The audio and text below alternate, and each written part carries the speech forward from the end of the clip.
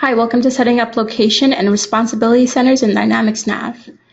Now, before we use locations in Microsoft Dynamics Nav, we should first create them. Let me show you how to do this.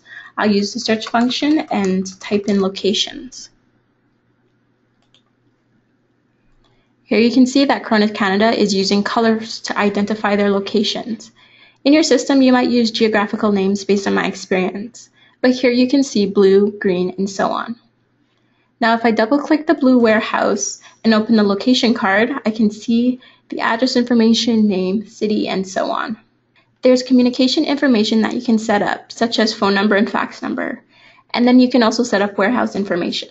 You can also enable locations for warehouse management, such as pick put away using bins and so on. But that's something that we'll have a look in another module. For the time being in this module, setting up location is only about entering a code, a name, and address information.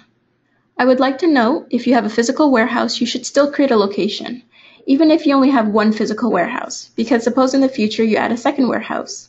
It's much easier if you already defined your first location. You can also enter some parameters in the inventory setup. So if I search for inventory setup,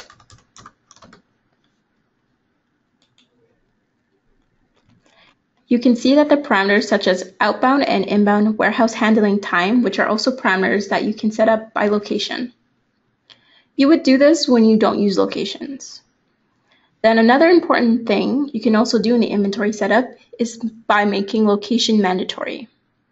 So if I select this field, we will have to use location. As you can see, creating location in Dynamics Nav is quite simple. In order to be able to know which master data we should assign which location, it's important, first of all, to have a look at our distribution strategy. Do we have a centralized or a decentralized strategy? A centralized strategy would mean that we have all our vendors deliver products to the central warehouse, and then once we have the items in our central warehouse, we'll use the transfer orders to deliver to the local warehouses.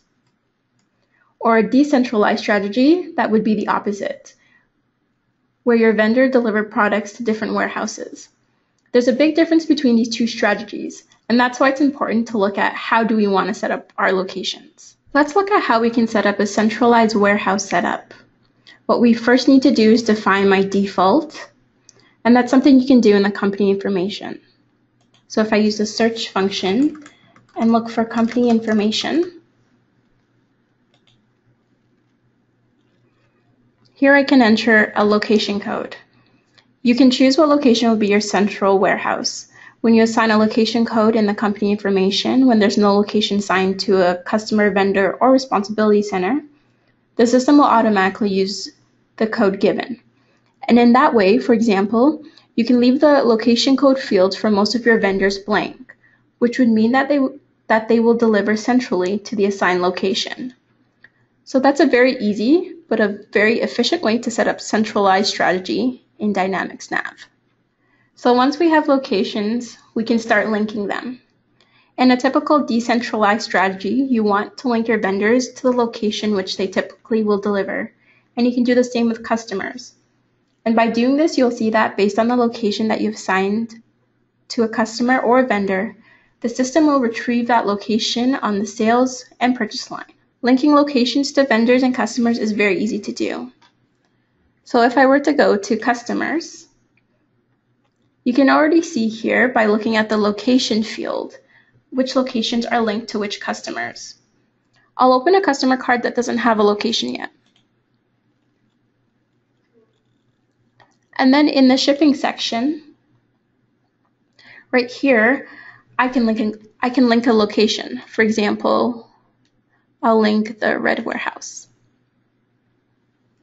Please remember that whatever location you decide to link to your customer, the system will always use that location by default. If you want to link something else, you'll have to change it manually. So that's important to realize. The same thing goes for a vendor card. So then if I search for my list of vendors,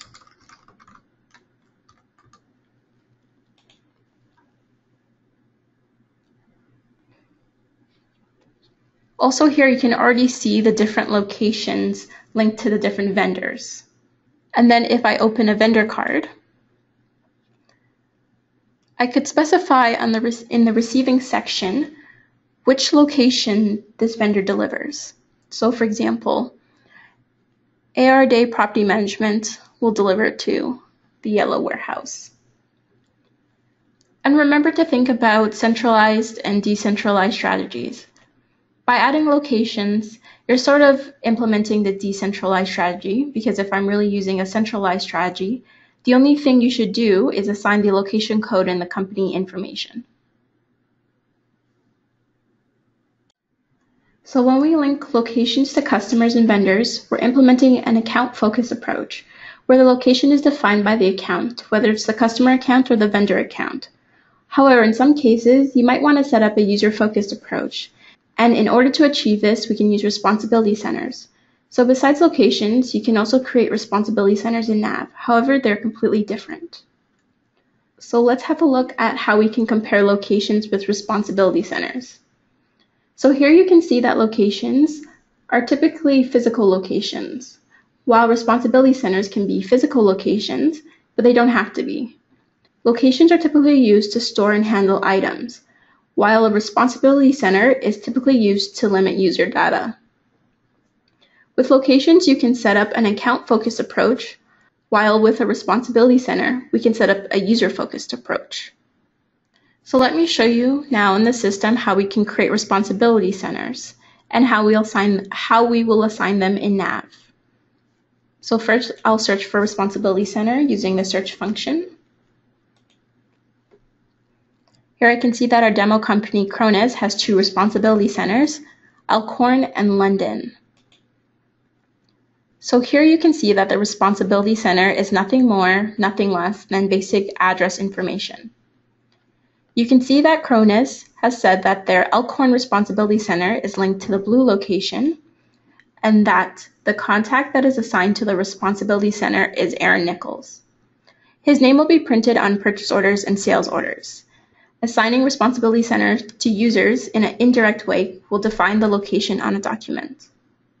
Let's have a look in the system of how we can link responsibility centers. There are three different places where we can link responsibility centers. And the first one you might have seen when I set up my central warehouse, and that's my company information. So if I go to my company information again,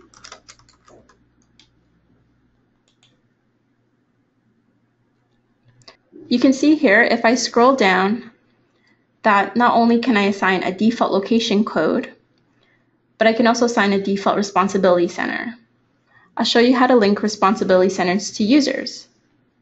If I go to the user setup,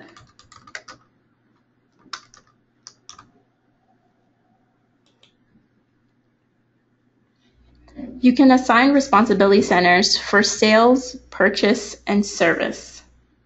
This way I can link the information or I can limit the information that is shown to a user.